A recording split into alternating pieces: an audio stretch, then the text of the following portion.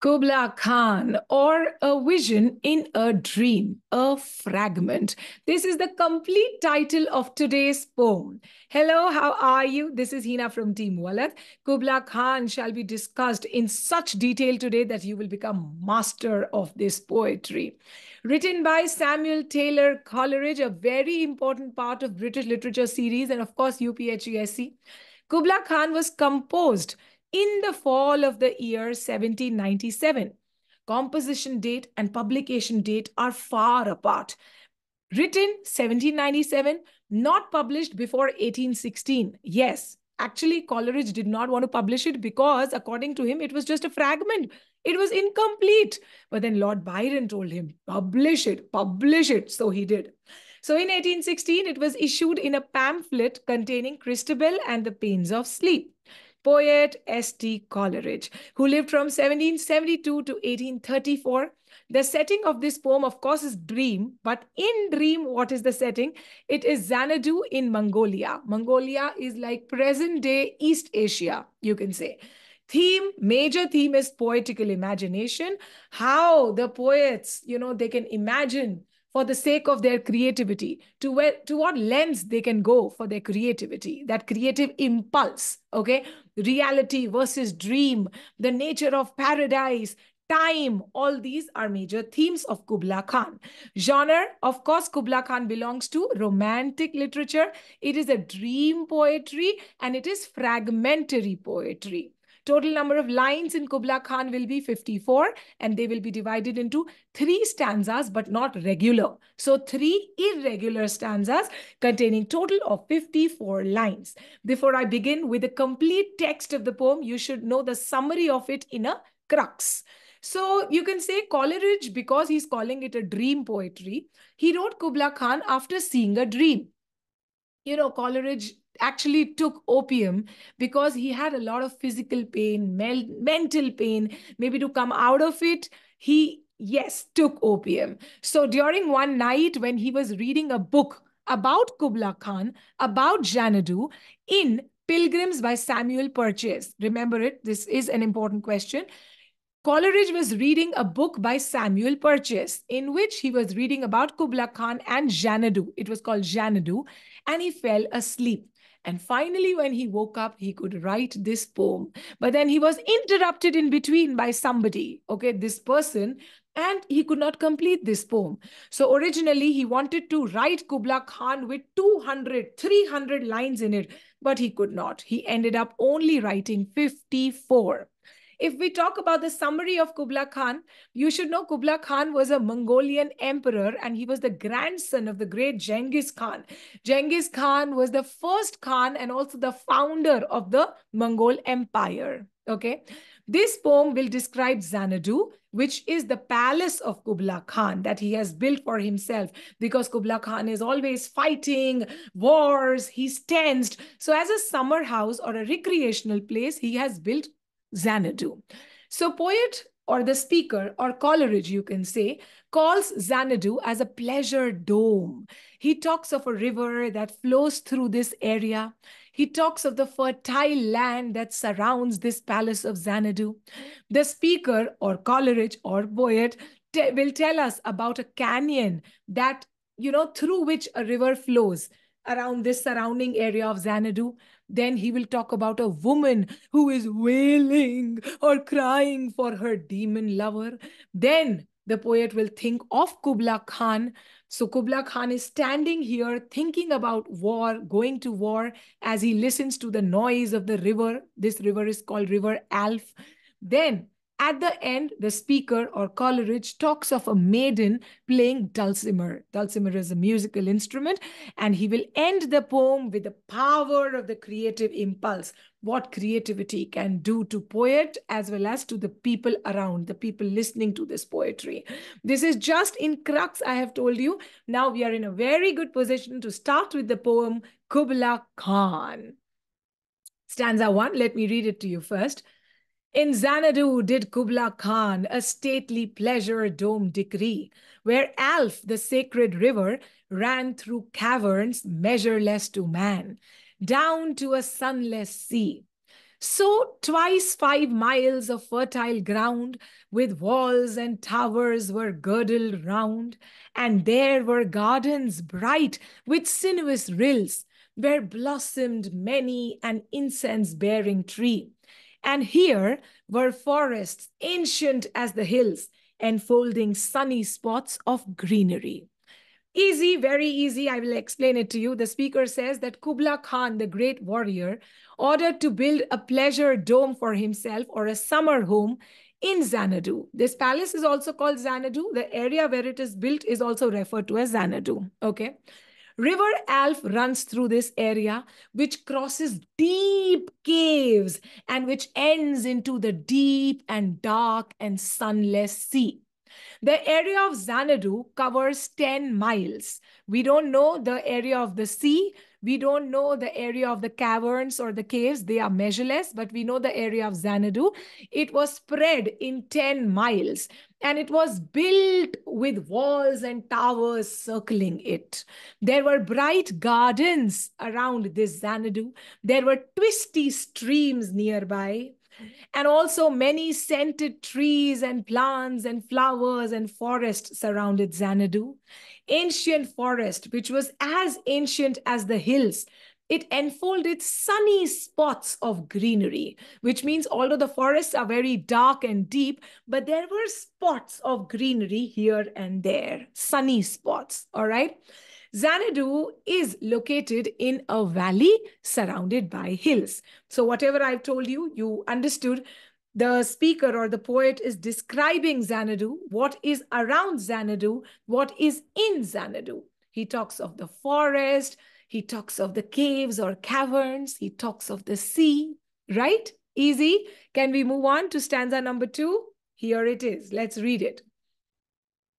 But oh, that deep romantic chasm which slanted down the green hill athwart a cedarn cover, a savage place as holy and enchanted as ever beneath a waning moon, was haunted by woman wailing for her demon lover.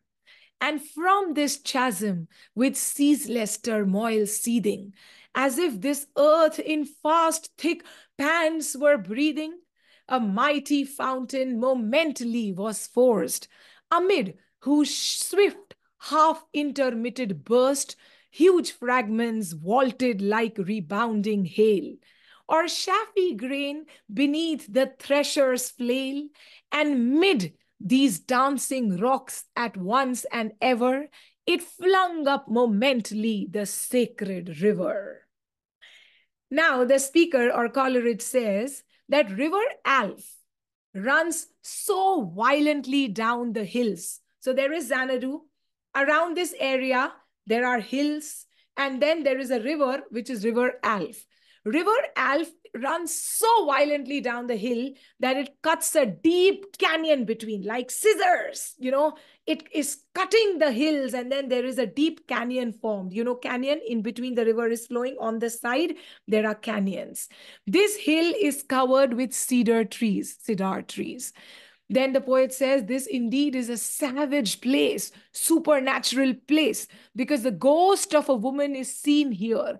Woman wailing for her demon lover. She probably is a ghost. She does not exist. The sound of this woman crying for her demon lover, which means there is some evil spirit surrounding this place.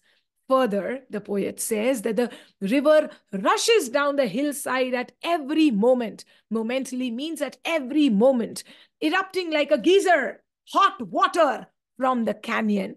Imagine a river is rushing fast it actually breaks through the rocks and water comes up like a fountain, but it is like a hot boiling water or it's like a geyser. Can you imagine it? That is the imagery which Coleridge actually wants us to see when we are reading the poem. So let me read it again. Coleridge says that this river rushes down the hillside at every moment, erupting like a geyser from the canyon. And when I see this scene, it feels like the earth is tired and there are pants the earth is panting. So the breath is literally this boiling water. The earth is panting, this fast and this breath, this fast and thick breath, like an animal, is this geyser, this hot boiling water. And next, Another comparison is when River Alph crushes through the rocks, it feels like rain of hail or grain as if it is being separated from the shaft. You know, when the grain is separated from the shaft with a flail, with a stick, a thresher stick, what happens? The very light weighted uh, shaft, the very light weighted, you can say, a shaft, it, it, it actually flies up. You know, it flies up. So it's, it's that feeling that there's like a rain of hail or grain as it is being separated from the shaft. Do you understand? Can you imagine it? Literally, like the parts of the grain are falling up and down when this river is crossing by. Okay, easy. Stanza number two continues here. Five miles meandering with a mazy motion, through wood and dale the sacred river ran, then reached the caverns measureless to man, and sank in tumult to a lifeless ocean. And amid this tumult, Kubla heard from far ancestral voices professing war. The speaker, who is dreaming and then writing this piece, he says that River Alph now moves in a zigzag motion. Look at the alliteration here. Miles meandering with a mazy motion, murmur sound. River ran, roro sound, then reached the caverns measureless to man. There's like repetition of murmur sound, roro sound. It makes an alliteration here. So the speaker says that the river Alph moves in a zigzag motion through forest and valley where Xanadu is located. And from being fast and furious, literally, it was fast and furious, right? It was erupting geysers. It was compared to these uh, hails, this rain of uh, grain, right? But from being fast and furious, now the river will slow down as it will calmly enter the area of Xanadu. So the origin is like fast but as it comes to Xanadu, this river flattens. It comes to Xanadu, calmly crosses Xanadu for five miles, after which it reaches those caves. Remember the caves which are measureless to man? It was spoken in the first stanza, same caves. So the river crosses these caves and after which it sinks or melts in the calm ocean, in the lifeless ocean. And during all this time, watching this river coming fast but then slowing down, Kubla might literally be standing in the balcony, you can say, of Xanadu.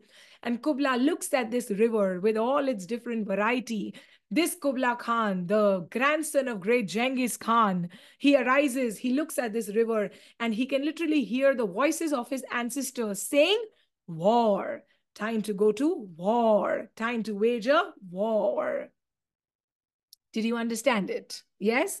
With this, this little bit of stanza from stanza two only is left. Let's read it.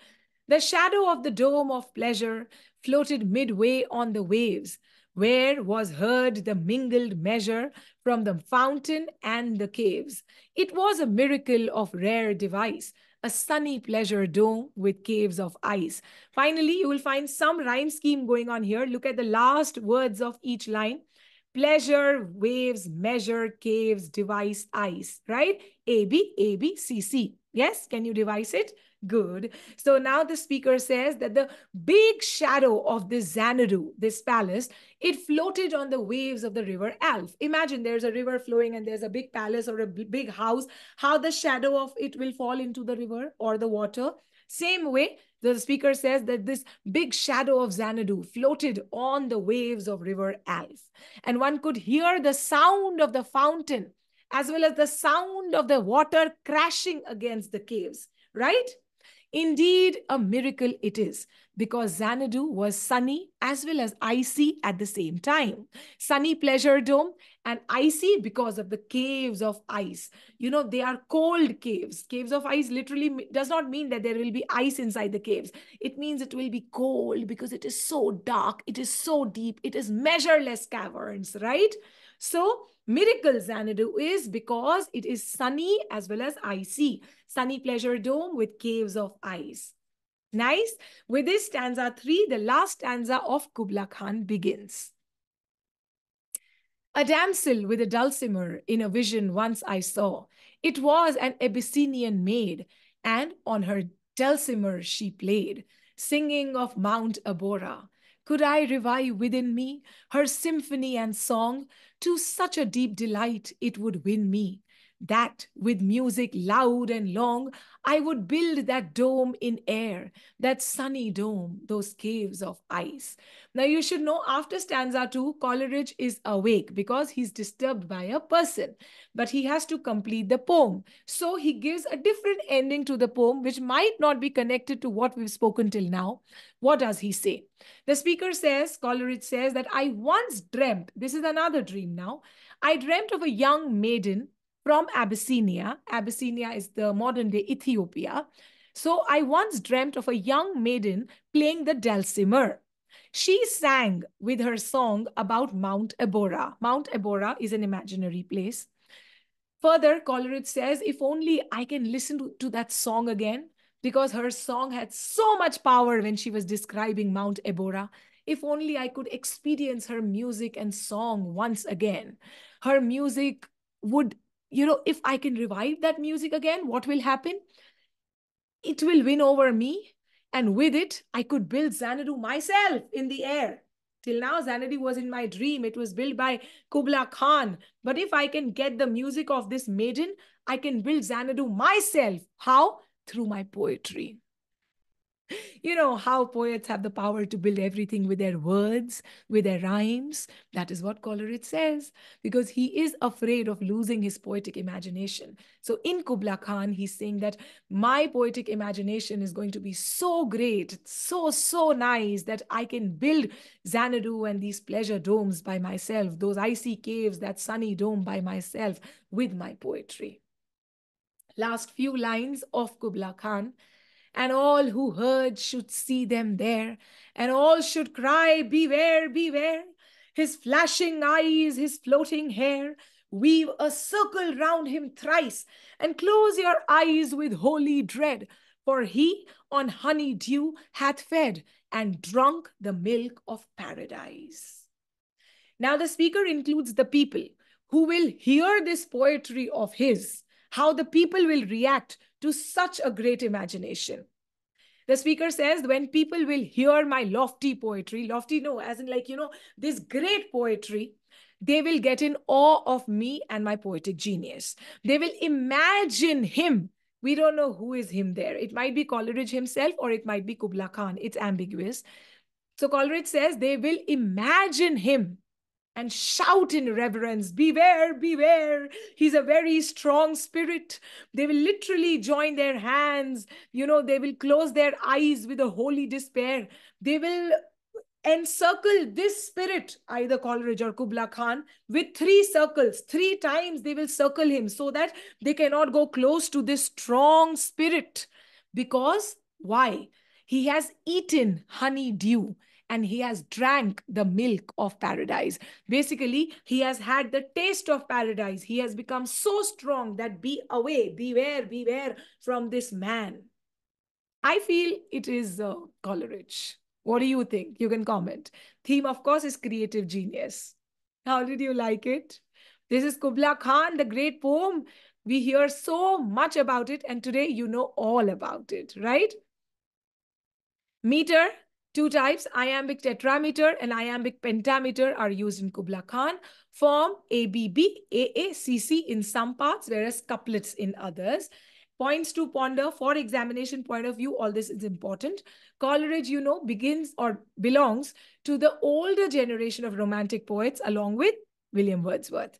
Coleridge was very much interested in the supernatural or fantasy or imagination in his poetry.